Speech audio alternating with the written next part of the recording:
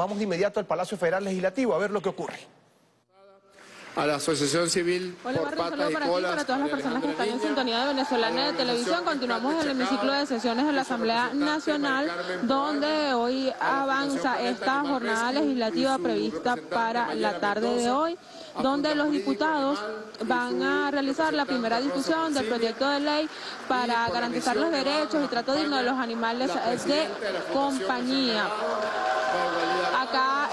El Palacio Federal Legislativo hoy se encuentran unos invitados eh, bastante especiales como lo son los representantes eh, de la misión Nevado, justamente acompañando este texto jurídico que se llevará el día de hoy a primera discusión, pues con la intención de promover y garantizar el trato digno y los derechos de los animales de compañía. ¿Quién se la llevó? ¿Nos van a escuchar el debate?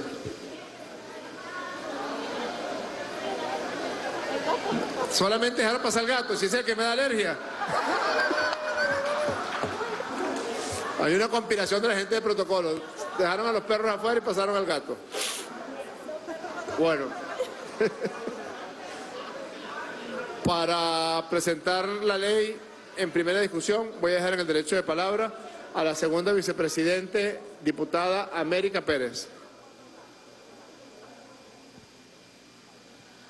Aspectos fundamentales a resaltar de este nuevo texto jurídico es que está enmarcado a propósito de las siete líneas estratégicas orientadas por el presidente Nicolás Maduro y esta ley tiene la intención de promover el trato digno y reconocimiento de los derechos a los animales de compañía, así como garantizar la protección y el bienestar de dichas mascotas. De inmediato escuchemos a la vicepresidenta de la Asamblea Nacional, América Pérez, quien presentará este proyecto de ley primer vicepresidente Pedro Infante, secretaria María Alejandra, secretario José Omar, a nuestros queridos diputados y diputadas de esta asamblea, muy especialmente a nuestros invitados especiales de esta tarde, compañeros y compañeras que dedican su vida y sus manos a cuidar la vida de nuestros animales de compañía. Para ustedes, todo el honor, para ustedes el reconocimiento y bienvenido siempre a esta Asamblea Nacional, la, la Casa del Diálogo y por supuesto serán ustedes siempre escuchados acá.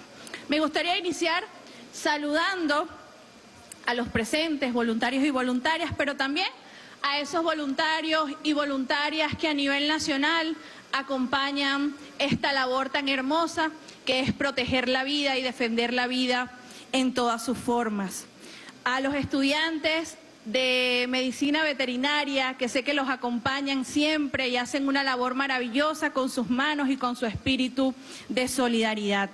Saludar también, cómo no hacerlo, con mucho orgullo, a la Misión Nevado, que ya tiene 10 años de vida, 10 años defendiendo la vida, 10 años con su amor, con sus manos, con su corazón, protegiendo a nuestros animales de compañía.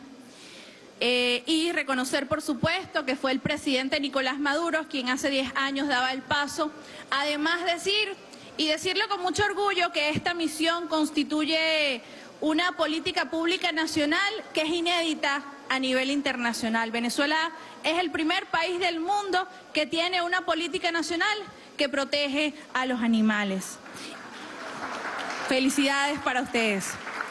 Esta ley, la cual considero una de las propuestas jurídicas más hermosas promovida desde el seno y el corazón de esta institución, la cual no es solamente decirnos, sino cada vez que somos convocados a una sesión en las puertas del hemiciclo protocolar de nuestro Palacio Federal Legislativo, nos recibe Zeus, Danco, Luna, Dani, Brando, Tokio Kendra, Bambina, Miranda y Japo. Ellos son nuestras mascotas de la Asamblea Nacional que nos cuidan y nos protegen también a los diputados y diputadas. Para ellos, nuestro amor, nuestro compromiso y eso habla de esa voluntad que tenemos nosotros y nosotras, los diputados y los trabajadores y trabajadoras de esta Asamblea Nacional, quienes son las manos cuidadoras que todos los días alimentan y cuidan a nuestros animales de compañía.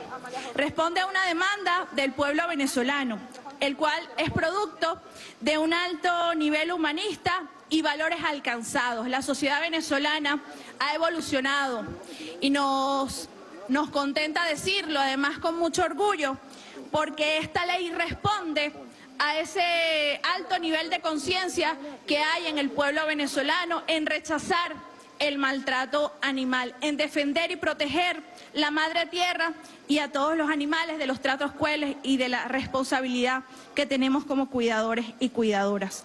Son nuestros fieles compañeros, nuestros confidentes y nuestros amigos incondicionales.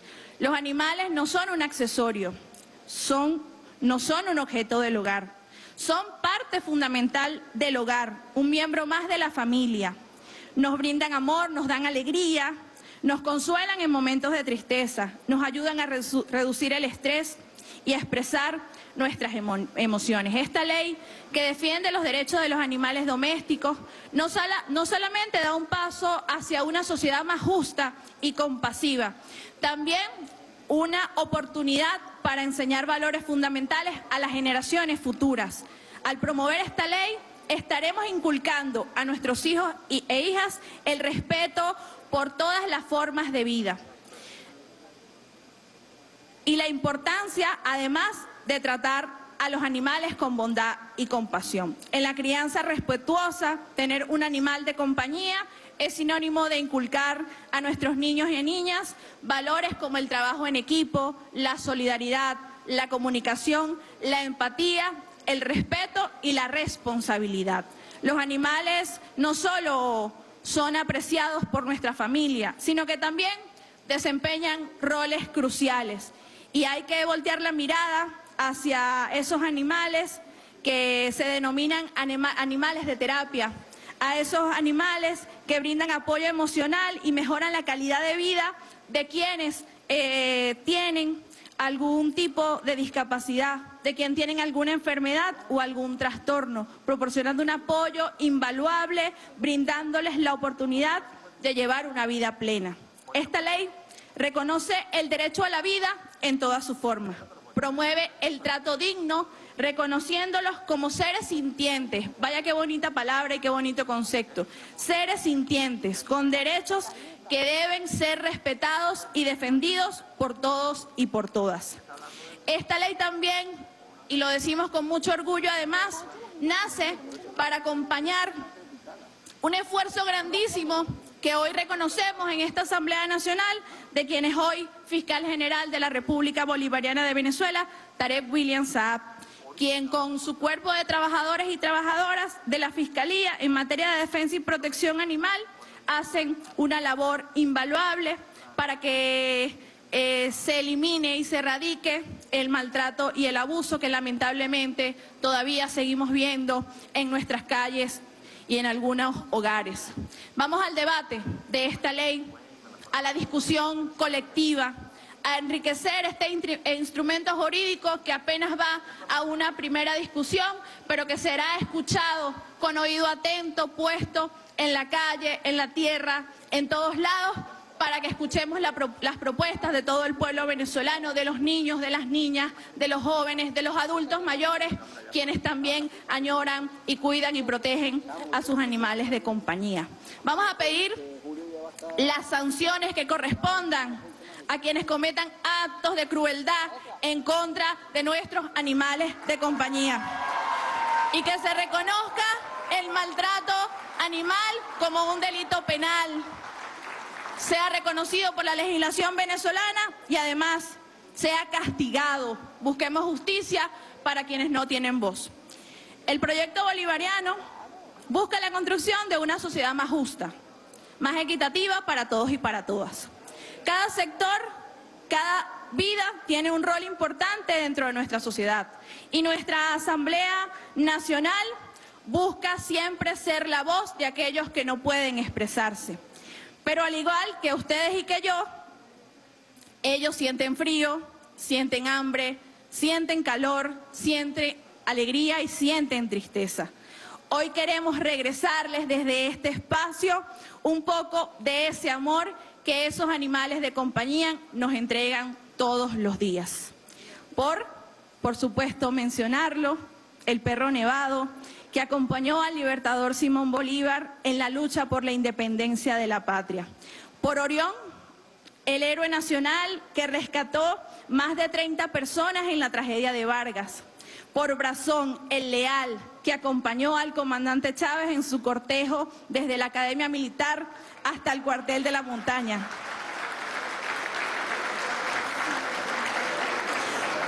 Por un hecho muy reciente, por Hades, Necro y Amigo, los perritos rescatistas del deslave en Tejerías. Por ellos y por nuestros héroes personales, los que tenemos en casa, llenando nuestras vidas de amor, ternura y risas. Por nuestros perrijos, porque son nuestros hijos, perrijas, gatijos y gatijas, por esas colitas que se sacuden de felicidad al vernos. Luchemos por una sociedad más justa y equitativa, porque como decía el comandante Chávez, la capacidad de amar es infinita. Vayamos a debatir esta hermosa ley en todo el territorio nacional. Quiero despedir esta intervención porque además nuestros animales de compañía también han generado y han inspirado a grandes poetas a escribir hermosas palabras. Y decía Julio Cortázar, presidente, quien tenía un gato, amaba a un gato, usted no puede tener gatos, dice así, querer a las personas como se quiere a un gato, con su carácter y su independencia, sin intentar domarlo, sin intentar cambiarlo, dejarlo que se acerque cuando quiera, siendo feliz con su felicidad. Regresemos la felicidad que nos dan nuestros animales de compañía y hagamos esta ley histórica para todo el pueblo venezolano y para las generaciones futuras. Muchísimas gracias.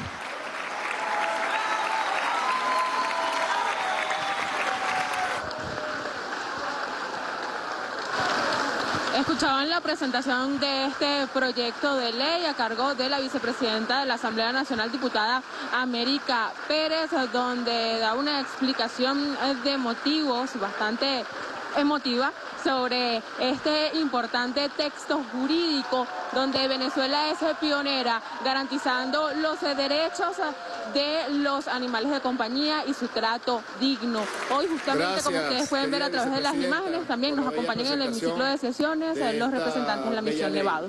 Cargada de ternura y compasión. Dejo el derecho de palabra a la diputada Carliana Arriechi. Solicita la tribuna de oradores. Se le concede.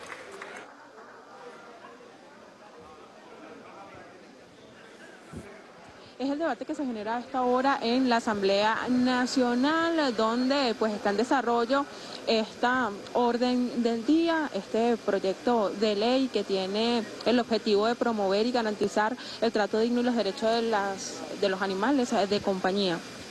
Es importante destacar que Venezuela, eh, como siempre, ha sido ejemplo en la región y en el mundo, eh, debatiendo leyes que garantizan los eh, derechos eh, de los seres vivos. Al día de hoy se siguen persistiendo viejas discusiones, viejísimas discusiones sobre qué es la ética, cómo la delimitamos y qué comportamientos y actitudes son o no son éticas. Aristóteles, por ejemplo, jerarquiza entre los animales domésticos y los salvajes. Y en esta distinción encontramos animales que solo obedecen a sus instintos. Un segundo, diputada. Orden, diputado, por favor. Gracias, presidente. Continúe. Gracias, presidente. Bueno, como lo mencionaba, Aristóteles jerarquiza entre los animales domésticos y los salvajes. Y en esta distinción encontramos animales que solo obedecen a sus, a sus instintos y otros que se usan para las necesidades del hombre. Santo Tomás, en su teoría ética, diferencia entre las acciones humanas y las acciones del hombre. Según su pensamiento, no es pecado sacrificar un animal para el consumo humano o para alimentar el rebaño, pero matar por el simple hecho de matar sí lo es. La propuesta ética de Kant, por ejemplo, contrasta con todas estas éticas anteriores. Antepone el deber ante el deseo. Para Kant, la naturaleza racional de un ser vivo es la que nos vincula normativamente a él. Es decir, debemos comportarnos compasivamente con los animales, no porque tengan algún tipo de derechos, según él, sino que es un deber hacia nosotros mismos por ser criaturas racionales. También se invoca o invocamos a Platón cuando habla de una era de oro en la que los humanos vivían en pacífica convivencia con el resto de los animales. Descartes, ya para finalizar, conoce un nuevo paradigma. Afirma que los animales son meras máquinas autómatas sin pensamientos, incapaces de experimentar dolor o placer. Ahora bien, queridos colegas, la expresión derechos animales, ¿qué es lo que define? define un creciente movimiento de justicia social, porque no nos limitamos a proponer reformas en el sistema actual. Estamos persiguiendo la abolición de un sistema que se basa en la explotación animal institucionalizada. Los animales necesitan derechos, derechos a no ser considerados como propiedad. Y en la llamada ética del deber no se sopesan buenas y malas acciones, sino que se tiene en cuenta un conjunto universal de reglas que todos los seres humanos podríamos estar de acuerdo en ellas. Diputados y diputadas, hoy son varios los países que tienen leyes que protegen de daños y sufrimientos innecesarios a los animales. Sin embargo, la contradicción central de las leyes que protegen a los animales es que son interpretadas de una manera que refleja su estatus de propiedad privada y eso impide una aplicación real y relevante hacia los animales. Queridos colegas, nos quedan grandes desafíos propios de esta institución que tiene el compromiso con nuestro electorado de acompañar las dinámicas sociales. Como lo prometió mi organización política, Cambiemos Movimiento Ciudadano para las elecciones del 6 de diciembre de 2020, que nos consagraron como diputados de esta Asamblea Nacional, que trabajaríamos con determinación en los derechos de los animales. Pero también se nos presenta un nuevo reto, un reto ciudadano, uno que va mucho más allá. Y ese reto consiste en terminar con las grandes concentraciones humanas que les permiten a algunos divertirse con torturas, con violencia y con sangre, corridas de toros, peleas de gallos, explotación sexual canina o felina, por solo mencionar algunas, dejan al descubierto una realidad oculta que no se puede desestimar. Hacen alaraca de un espectáculo repleto de racionales que pagan y se congregan para presenciar martirio, agonía y muerte de un inocente animal en un salvaje espectáculo que, óigase bien, muchos aún consideran el deporte nacional. Esta Asamblea Nacional iza hoy una nueva bandera, una bandera de solidaridad, de nobleza, de comprensión, de amor y justicia por todos aquellos que han sido injustamente maltratados. Esta institución se une entre nuestras diferencias a la bancada mayoritaria para avanzar hacia una sociedad que premia la compasión y la resiliencia. Esta Asamblea Nacional reconoce hoy el arduo labor de ustedes, rescatistas, proteccionistas, fundaciones, organizaciones, que simplemente trabajan procurando el bienestar animal. Gracias por su dedicación incondicional, gracias por su entrega, por su compromiso al lado de una sociedad equitativa e igualitaria. Agradezco, por supuesto, en nombre de la Alianza Democrática, la consideración de esta iniciativa que en tres oportunidades desde el año 2022 hemos planteado. Nuestro reconocimiento a la bancada mayoritaria en la construcción de un ideario común que hoy se instala en beneficio de los seres sintientes. Solo me resta pedirles, compañeros, que votemos favorablemente a favor de esta ley, que sigamos acompañando las nuevas dinámicas sociales y que, como ya lo he dicho desde este espacio, desde esta tribuna, sigamos discutiendo, sigamos debatiendo para que juntos y juntas cambiemos a Venezuela. Muchísimas gracias.